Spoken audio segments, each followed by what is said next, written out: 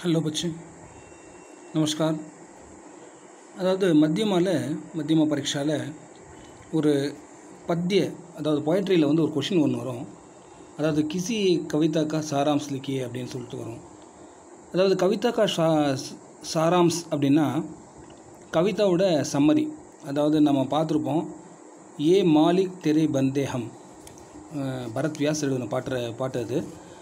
ஏ மாலிக் தெரி பந்தேகம் அதாவது கடவுள் வந்து மாலிக் அப்படின்வாங்க சப்கா மாலிக் ஏக் ஹே. எல்லாரோட தலை எல்லாருக்கும் வந்து ஒன்றே குலம் ஒருவனே தேவன் சொல்கிறோம்ல அதான். சப்கா மாலிக் ஏக அப்படின்வாங்க மாலிக்ன்றது வந்து கடவுளை தான் சொல்லுவாங்க. தலைவன் அப்படின்ட்டு. அப்போது ஏ மாலிக் தெரே பந்தேகம்னா ஓ- அதாவது கடவுளே நாங்கள் எல்லாம் உன்னோட குழந்தைகள். நான்லாம் நாங்கள்லாம் வந்து உங்கள் குழந்தைகள் அப்படின்ற அர்த்தம் அந்த கவிதைக்கு.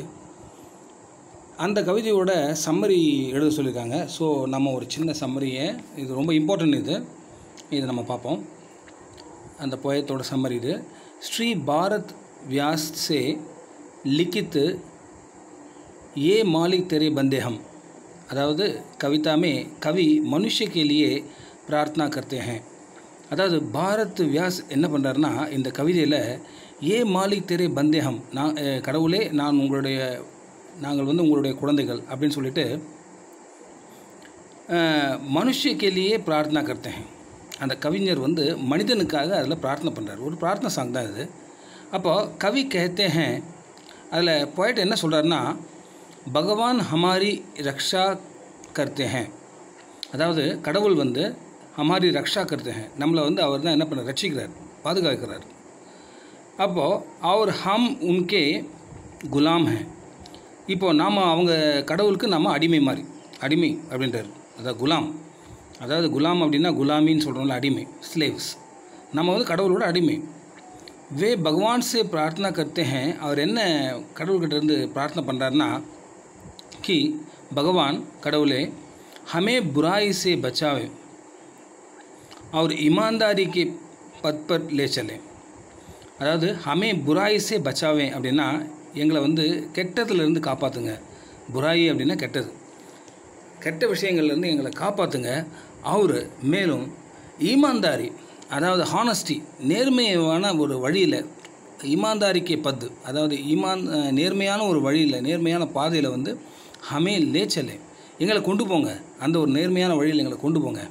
ஆஜ் சப் ஜகா துக்கு அந்தேரா ஃபைலாக இப்போது இந்த உலகத்தில் பார்த்தீங்கன்னா சப் ஜகா எவ்வரிவேர் எங்கேயுமே துக்குக்கா அந்தேரா ஃபைலாக அதாவது துக்கத்தோட இருட்டு வந்து சூழ்ந்திருக்கு.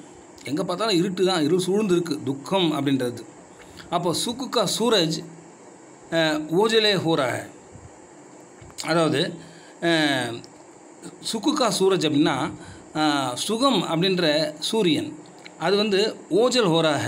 ஓஜல் ஹோராக அப்படின்னா அது காணாமல் போயிடுச்சு. அதாவது சுகம் அப்படின்ற விஷயம் அந்த சூரியன் அந்த வெளிச்சம் அது காணாமல் போயிட்டு எங்கே பார்த்தாலும் துக்கம் அப்படின்ற இருட்டு தான் இருக்குது அப்படின்னு சொல்கிறாங்க இந்த உலகத்தில்.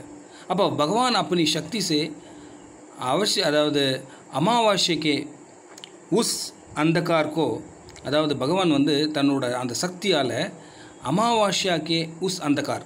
அதாவது அமாவாசையில் எப்படி இருட்டு இருக்குல்ல அமாவாஸ்யாக்கே அந்தகார் அப்படின்னா அமாவாசையோட இருட்டு. அந்த வந்து தூர்கரேன் அதை வந்து துரத்தி அடிக்கணும். அதை வந்து தூர தெருத்தணும். துரத்திட்டு பூர்ணிமா. பூர்ணிமான்னா என்னது? பூர்ணச்சந்திரனை வந்து பூர்ணிமான்னு சொல்லுவாங்க. அதாவது முழு நிலவு. அது பௌர்ணமி. க பிரகாஷ் ஃபைலாவே. அதாவது ஒரு பௌர்ணமி வெளிச்சத்தை வந்து இந்த உலகத்தில் வந்து அவர் என்ன பண்ணணும்? பர பரப்பணும் அப்படின்னு சொல்கிறார் அப்படின்னு கடவுள்கிட்ட வேண்டாரு. அதுக்கடுத்தது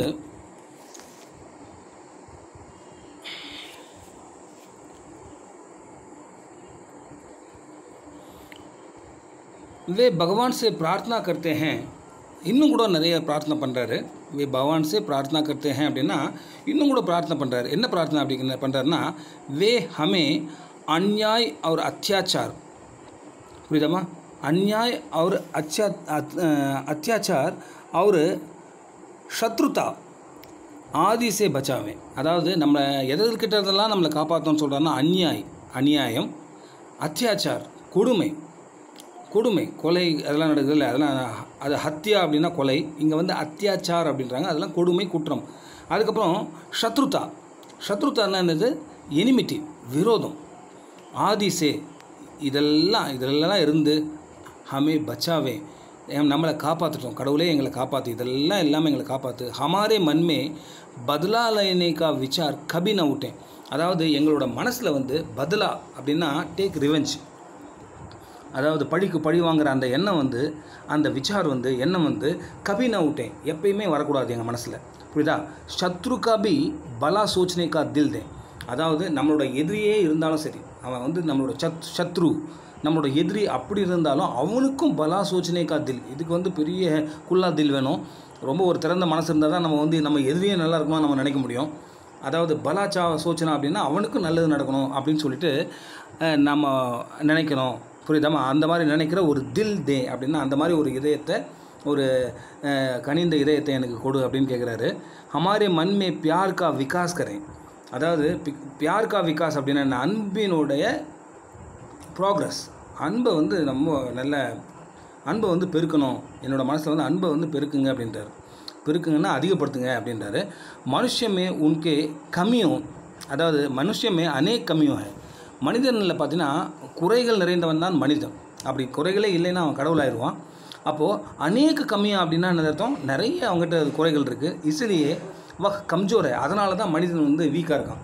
அவன் ஏன் வீக்காக இல்லை? ஸ்ட்ராங்காக ஏன் இல்லை அப்படின்னு புரியுது அவங்களுக்கு ஏன் வீக்காக இருக்கான் ஸ்ட்ராங்காக இல்லை அப்படின்னா அவன் வந்து அவங்ககிட்ட நிறைய டிஃபிஷியன்சிஸ் நிறைய இருக்குது குறைபாடுகள் நிறைய இருக்குது ஸோ அவன் வந்து கம்ஜோராக இருக்கான் அவன் வீக்காக இருக்கான். பகவான் படே தயாலு இப்போ நீங்கள் கடவுளை பார்த்தீங்கன்னா அவர் வந்து ஒரு ரொம்ப கைண்ட் ஹார்ட்டட் இரக்கமுடையவர். தயாலு கிருபாலு அப்படின்னு சொல்கிறோம்ல பகவானை நம்ம எப்பவுமே. அப்போ வந்து அவர் ரொம்ப கைண்ட் ஹார்ட்டட் பர்சன் அப்போ அவர் என்ன பண்ணுவார்னா வே இஸ் தர்த்திக்கு ரக்ஷா கர்த்தே ஹே அவர் என்ன பண்ணுறாருனா அவர் தான் இந்த தர்த்தி இந்த பூமியை வந்து பூமியை வந்து பாதுகாக்கிறது அவர் தான். அந்த கடவுள் தான் இந்த பூமியை பாதுகாக்கிறாரு. ஹமாரா ஜன்ம பகவான் கே காரன் ஹீ ஹுவா இப்போ நம்மளோட படைப்பு வந்து யார் பண்ணுது? நம்மளோட படைச்சது யார்? பர்த் எப்படி வந்தது? அப்படின்னா உஸ்க காரன் பகவானே. அதை வந்து கடவுள் தான் நம்மளை படைச்சது. புரியுதா? அமாரா ஜோ ஜனம் ஜோ ஹே பகவான்கே காரணம் அவர் தான் காசு காசு ரூட்டு அவர் தான். அதனால தான் நம்ம இங்கே வந்து பிறந்தோம் மனுஷனாக வந்து. வே ஹமாரே துக்கோங்கோ தூர்கரேன் அவர் தான் நம்மளோட துக்கங்களெல்லாம் தூரம் துரத்தி அடிப்பார். புராயுசை பச்சாய் பச்சாவே. அவர் தான் நம்மளை வந்து கெட்ட விஷயத்துலேருந்து காப்பாற்றுவார் அவர் இமான்தாரிக்கு ராஸ்தேப்பர் ஜோ ஹே லே அதாவது ஒரு நல்ல நேர்மையான வழியிலேயே நம்மளை கொண்டு போயிட்டு அவர் தான் சேர்ப்பார். ஜிஸ்ஸே அம் ஆக்ரி சாஸ்தக்கு முஸ்குராத்தே அப்படி அவர் செஞ்சிட்டாருன்னா கடைசி மூச்சு வரைக்கும் நம்ம உயிரோடு இருக்க வரைக்கும் நம்ம எப்பயுமே என்னது ஒரு முஸ்குரானா அப்படின்னா புன்சிரிப்போடு இருக்கிறது. அதாவது நம்ம ஸ்மைல் பண்ணிகிட்டே இருப்போம் அப்படின்னு சொல்லிட்டு இந்த கவிதையில் ஏ மாலிக் தெரே பந்தேகம் அப்படின்னு சொல்லிட்டு நம்ம பரத் வியாஸ் வந்து அருமையாக எழுதியிருக்காரு இதை. Okay thank you